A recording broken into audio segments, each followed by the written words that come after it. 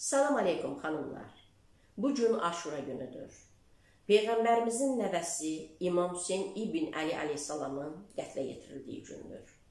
Bu gün münasibətilə İmam Zaman Ağa əleyhissalam başda olmaqla bütün İslam əhli beyt dünyasına başsağlığı verirəm.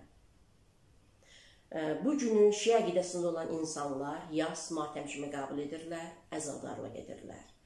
Bu gün Aşura günü Hicrətin 61-ci ilində İraqın Kərbala çölündə baş vermişdir. İmam Hüseyn əleyhissalam ailə üzvləri və tərəfdarları ilə birlikdə qətlə yetirilmişdir. Onların şəhidliyi ilə nəticələnən Kərbala hadisələrindən bəhs edir Aşura günü. Mən istədim ki, bu gün Aşura günü nə deməkdir, Mühərrəm sözünün mənası nədir, bu barədə sizinlə qısa bir paylaşım edim. Aşura günü ərəb dilində 10-cu gün deməkdir. Yəni Məhərrəm ayının 10-u. Necə ki bizdə ayların adı var, e, İslam aləmində də, yəni ayların öz adı var. E, bu gün də Məhərrəm ayının 10-cu günüdür. Bəs Məhərrəm sözünün mənası nə deməkdir? Mühərrəm sözü e, haram edilmiş, qadağa olunmuş, eyni zamanda müqəddəs və hörmət mənasındadır. Ola bilər sual yaranar ki, e, həm müqəddəs, həm hörmətdən danışırsınız, həm də haram və qadağan olunmuşdan danışırsınız. Xanımlar, Quran-Kərimdə 4 müqəddəs aydan bəhs olunur ki, e, həmin aylar müqəddəs aylardır, həmin aylara hörmət olunması əmr olunur Quranda müqəddəs aylar olduğu üçün həmin aylarda bir çox hadisələr qadağan edilmişdir e, və həmin hadisələrin olunması haram hesab olunur. Məsələn, həmin aylarda, müqəddəs aylarda müharibə etmək haramdır, qadağan edilmişdir, döyüş olmaz. Çünki müharibələrdə, döyüşlərdə insanlar ölür, qətlə yetirilir, insanlar, insanların qanı tökülür. Bu müqəddəs ayda da bu xoşa gəlməz bir hal olduğu üçün, yəni qadağan olunmuşdur. Ancaq Quran-Kərimdə Mühərrəm sözü ay adı olaraq keçmir. Məsələn, bizdə e, məsəl üçün avqust ayıdır. E, hər bir, yəni ayın öz adı var. Ancaq Quranda e, Mühərrəm sözü ay adı olaraq keçmir. Sadəcə olaraq müqəddəs aylardan bəhs olunur, onlara hörmət etməkdən, hörmət etməyə əmr olunur və müharibələrin, döyüşlərin həmin aylarda olunması haram hesab olunur, qadağan olunur. Həmin ayların hansı aylar olduğunu Peyğəmbər səlvatullah bizə buyurmuşdur ki, həmin dörd müqəddəs aydan birincisi Məhərrəm ayıdır, Zilqədə, Zilhiccə və Rəcəb ayları. Deməli, Məhərrəm ayının ən ə, tarixi hadisəsi Kərbəla hadisəsi olmuşdur. Aşura günü olmuşdur. Ancaq ə, Aşura gününün özünə məxsus başqa xüsusiyyətləri də var. Aşura günü Allah Taala 10 peyğəmbərinə öz lütfünü əta etmişdir. Allah Taala Həzrət Musanı Fironun və onun ordusunun təqibindən xilas etmişdir. Allahın möcüzəsi ilə dəniz yarılmış, Həzrət Musa onlardan xilas olmuş, Firon və onun ordusu sularda qərq olmuşdular, yəni batmışdılar. Həzrət Adəmin tövbəsinin qəbul olunduğu gündür Əşura günü. Həzrət Davudun tövbəsinin qəbul olunduğu gündür. Həzrəti Yunusun e, balığın qarnından xilas olduğu gündür. Həzrəti Yusifin e, qardaşları tərəfindən quyuya atıldığı, atılmasından xilas olunduğu gündür. Həzrəti Yaqubun, e, Həzrəti Yusifin atası, Həzrəti Yaqubun Yusifin həzrət, həsrətindən gözləri ki tutulmuşdu. Gözlərinə nurun, işığın gəldiyi gündür Aşura günü. Həzrəti Nuhun gəmisinin Cudi dağına çıxdığı gündür. Həzrəti Əyyubun xəstəliyindən bilirsiniz, Həzrəti Əyyub xəstəliyi vardı. Həzrəti Əyyubun xəstəliyindən şəfa tapdığı gündür. Həzrəti İbrahimin oğlu Həzrəti İsmailin dünyaya gəldiyi gündür. Aşura günü. Həzrəti İsa'nın dünyaya gəldiyi və qeybə çəkildiyi gündür Aşura günü.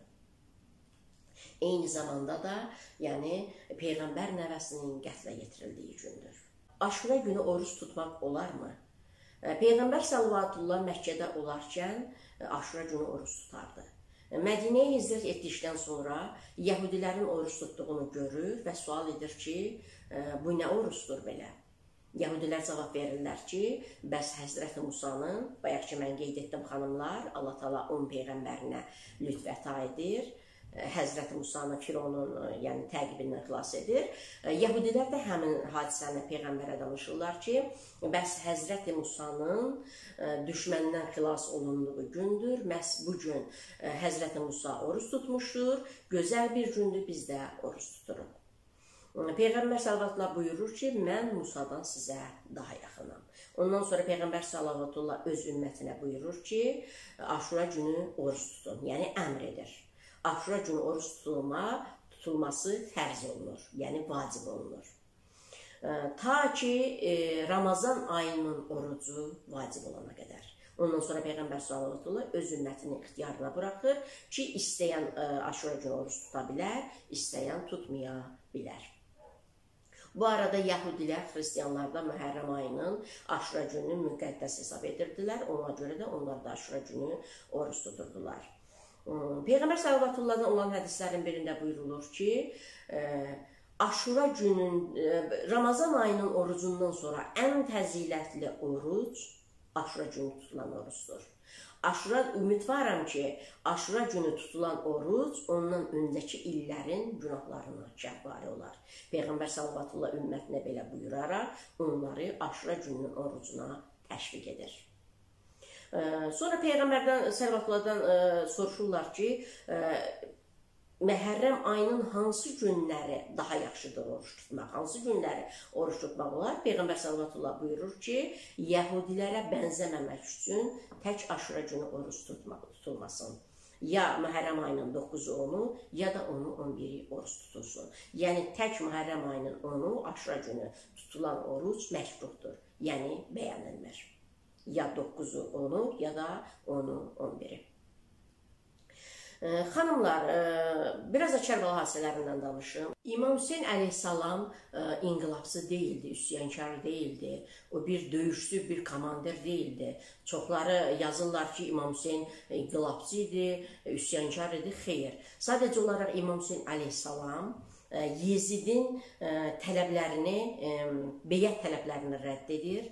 Yezid öz atasından ona irs qalan hakimiyyət üçün onunla beyət olunmasını istəyir, tələblər irəli sürür. İmam Hüseyn də onun tələblərini rədd edir. Buyurur ki, Peyğəmbər sallavatullahdan sonra onun canişini olmağa iddia edən insan, yəni Peyğəmbərdən sonra ümmətə rəhbərlik etmək iddiasında olan insan, ilk növbədə ədalət tərəfdarı olmalıdır, dinin qayda qanunlarına riayət etməlidir, əxlaqlı bir insan olmalıdır və s. Çoxlarınız bilirsiniz ki, Yezid dinin heç bir qayda qanununa riayət etmirdi, əxlaqdan uzaq bir insan idi. Bu barədə başqa mövzularda danışarıq. Ona görə də İmam Hüseyn onun onunla beyət etmir.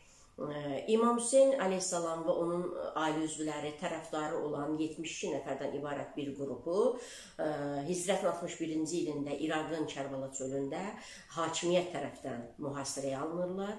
10 gün mühasirədə saxlanırlar. Son 3 günü onlar susuz qalırlar. Nəhayət e, Məhərrəm ayının 10-cu günü, Aşura günü düşmən tərəfdən, yəni hücum olunur. E, İmam Hüseyn e, iki oğlu, qardaşı, qardaş oğlu, bacısı oğlanları və tərəfdarları ilə birlikdə qətlə yetirilirlər. Şəhid, Kərbəla şəhidlərinin kəsilmiş başları ilə birlikdə onun əsir götürülmüş ailə üzvlərini ə, e, şəhər və şəhər gəzdirərək Kufəyə aparırlar, sonra oradan Dəməşqə aparırlar.